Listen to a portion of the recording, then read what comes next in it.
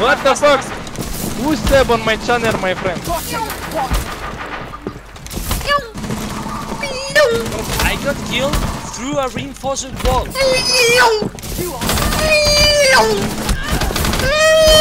Home, bro.